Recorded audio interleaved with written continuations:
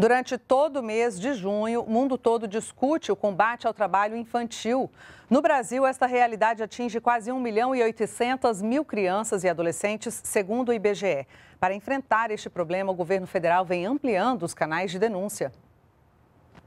No Brasil, todo o trabalho feito por menores que tiram o direito à infância, à dignidade, ao desenvolvimento físico e mental é considerado trabalho infantil. Ele é aquele que reproduz ciclos de pobreza em muitas famílias e que trazem sim prejuízos é, para o desenvolvimento da criança ou do adolescente. Em 2019, o Brasil tinha 1 milhão 768 mil crianças e adolescentes de 5 a 17 anos nessa situação, o equivalente a 4,5% da população nessa faixa etária.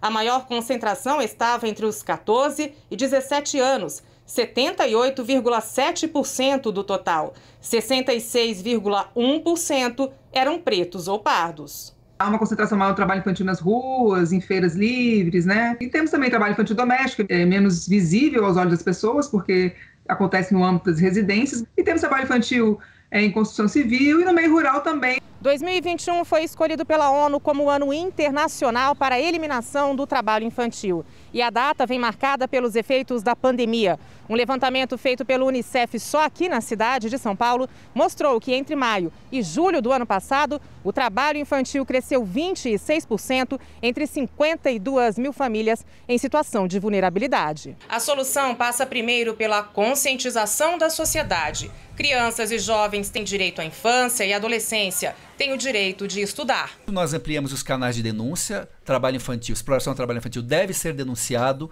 no Disque 100, na Ouvidoria Nacional, ou para os outros atores aí do Sistema de Garantia de Direitos da Criança e do Adolescente.